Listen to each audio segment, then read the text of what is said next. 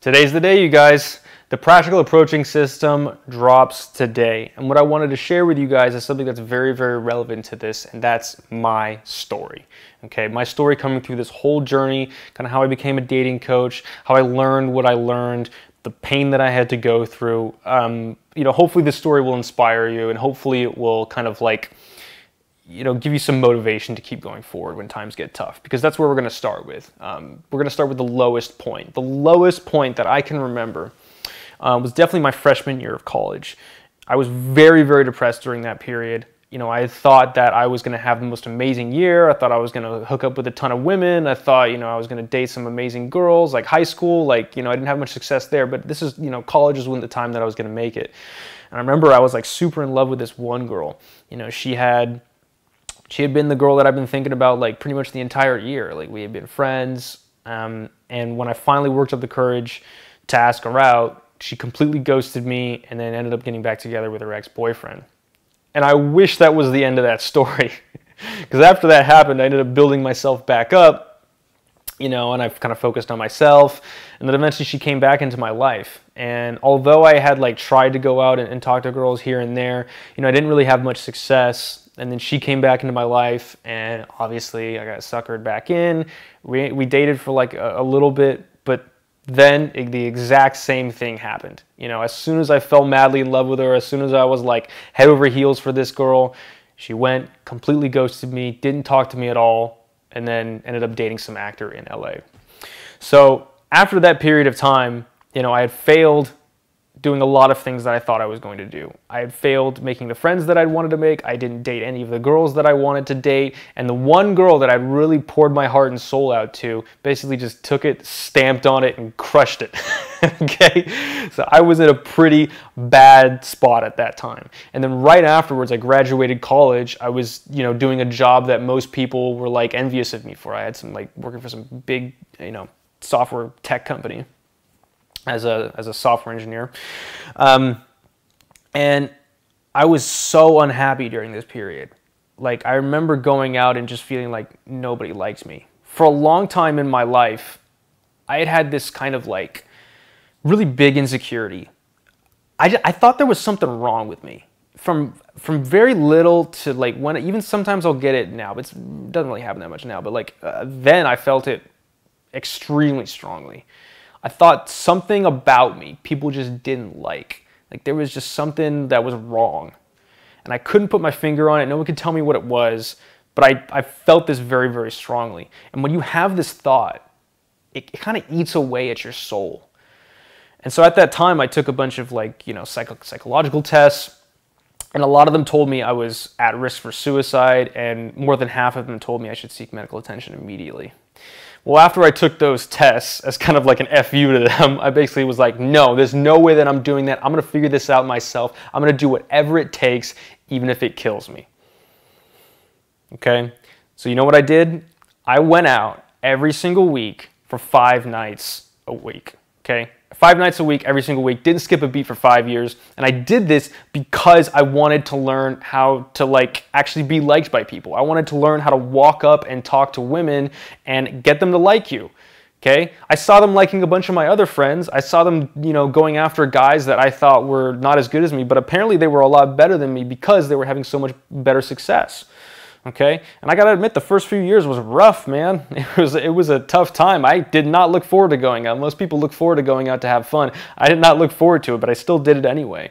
And i made a lot of mistakes during that time. I made a lot of embarrassing every mistake that you could possibly think of i made. Every embarrassing situation that could happen happened to me. And i went through all of this. And you know what ended up happening was that i ended up actually having some good times towards the end. I ended up sleeping with a few hundred women, and dating some models, ended up having incredible sexual experiences that, you know, only like kings and sultans of the past would could could brag about. It was pretty cool, you know, my you know, my younger self was was pretty happy about that, okay? But the pain that I had to go through to get there was I don't think most people are willing to go through that pain. And I honestly don't want you guys to have to go through that pain either to be able to learn how to do this. Okay, so here's some of the things that I learned during that period of time. Number one, it's possible to learn how to walk up and make a good first impression on people and be able to, like, uh, you know, whether it's a guy or a girl, even like there's a skill to people, there's a skill to learning how to talk and, and basically game and it does matter. You know, anyone can learn this sort of stuff. That's what I learned. There was people of all different shapes and sizes that I saw that were improving during this, and there was some people of all shapes and sizes that didn't improve either. Okay. Number two, looks, money, all of those things that people say are like the be all end all. Yes, they do help. Um, but I've, what I've found is that they're not the deciding factor. The deciding factor is usually what I just mentioned, and that's you know if you do certain things then you tend to have a leg up on those guys. For instance, I used to go out with guys that were way better looking than me, or a lot of them had more money than me, and I was broke a lot during this period of time. And be, during that period, like at first, they would get a lot of attention, and then slowly but surely, I would see if I did certain things, they would grab the women would gravitate more towards me because I made them feel better. And the guys who had all these, you know, uh, the looks, the money, and all that stuff, they didn't learn this stuff because they were relying on those characteristics to get them those girls. Okay, so I found out that although looks and money help, they're not the deciding factor. Number three, I, for a long time, I thought that my practical and logical nature, like I was kind of a nerdy kid all the time, I thought that that was always a detriment. I thought that no girl was going to like me for it, so I would try and hide those sides of myself. Turns out that actually turned to be one of my biggest assets. Okay, I learned how to break down social interaction to practical and actionable steps. Things that most guys just don't, they're just like, oh, you know, just do this, or ah, oh, sometimes that works. You know, the fact that I was able to break it down to like practical and actionable steps means that no matter where I was, anywhere, anytime, for whomever, I would be able to do, I would be able to make it work. Okay? The fourth thing, the fourth thing was that I think this was the fuel that carried me through everything most I, and I, I had guys who went out with me regularly. I had guys who consumed a lot of the information like they watched like pickup videos and stuff too. They watched like you dating youtube guys okay? They did some of the stuff that i did but they didn't put any skin in the game. I actually i paid for a dating coach at that time. I paid for like at the time those products cost like thousands of dollars. Like I paid like two thousand dollars for uh, like a dating product that RSD came out with you know a while ago. Okay, did it help me? Yeah, it helped me a little bit. Um, but I put some skin in the game. I wanted it badly. A lot of these guys, they would just go out, they would watch the videos, they watch the free videos, and they would just kind of like walk around and talk to people sometimes, but they weren't really committed. And I, when I went out, I was like, dude, I spent money on this. Like, I'm, I, I need this to work. And I think the money helped, but it was really the pain that I, that I was running from. I knew what it was like being that depressed and hating yourself and thinking that no one liked you. I knew how much that hurt. And I was going to do whatever it took to not experience that pain again. And so that's what really carried me beyond. Like, a lot of these guys that were my friends that I went out with, they didn't really improve too much. They, their people skills kind of stayed the same. And I think it's because I had more skin in the game. Okay. And there was another thing that happened. So that was the fuel that carried me. And the other thing that I learned too was I had an epiphany, which was that I had been going out there and making all these mistakes myself. Wouldn't it be better if I learned from somebody who actually had already made these mistakes?